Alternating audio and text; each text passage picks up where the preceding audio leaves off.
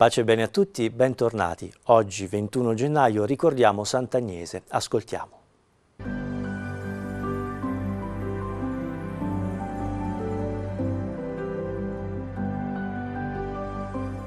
Agnese nacque nel III secolo a Roma, da genitori cristiani appartenenti ad una illustre famiglia patrizia.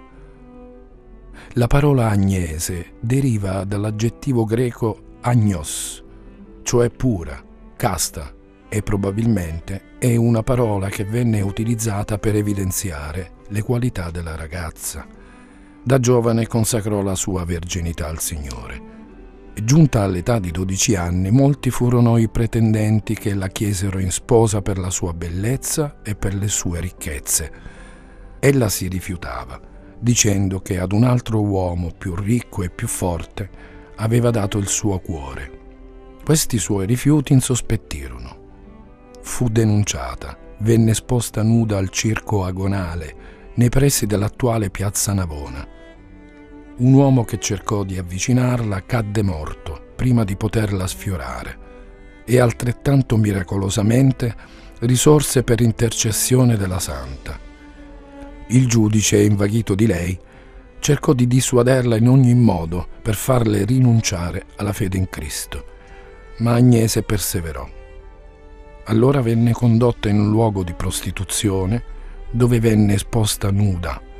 Condannata a morte per la sua forte fede ed il suo innato pudore all'età di 13 anni, venne gettata prima nel fuoco che si estinse per le sue preghiere e poi trafitta con un colpo di spada alla gola, nel modo in cui si uccidevano gli agnellini.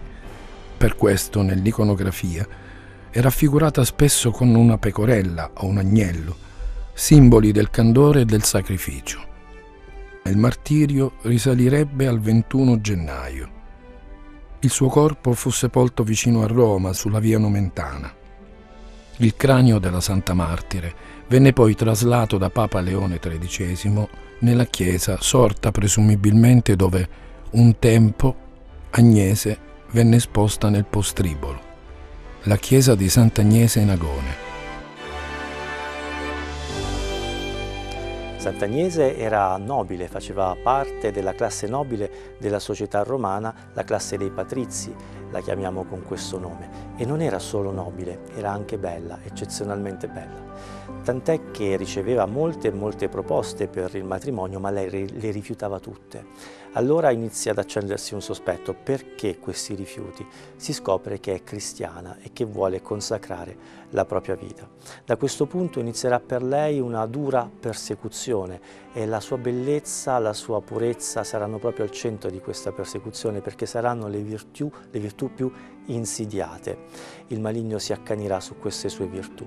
Allora mi viene automaticamente da pensare a tutte le persone belle, belle di aspetto, che hanno questo grande dono che è un talento vero e proprio, un talento paragonabile come essere bravi musicisti, bravi scrittori, bravi poeti, è un talento grandissimo, un talento che però ha un'insidia, quella che la bellezza possa diventare un qualcosa da mercato e quindi essere più inclinata alla soddisfazione delle persone piuttosto che alla testimonianza e alla lode del creatore stesso.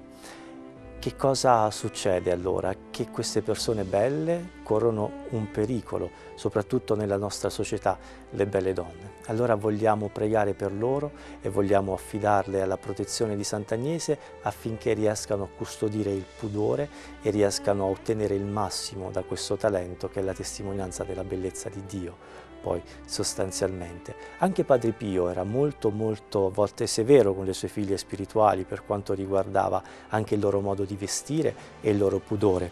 Infatti invitava sempre al pudore e non era raro che le rimproverasse in maniera anche molto, molto decisa. Per esempio invitava le sue figlie spirituali a vestirsi come piace agli angeli, piuttosto come piace agli angeli e come piace al creatore, piuttosto che come piace all'uomo e piuttosto che come piace alla moda, che spesso la moda non, non porta a Dio e alla contemplazione del corpo in una maniera disinteressata e pura.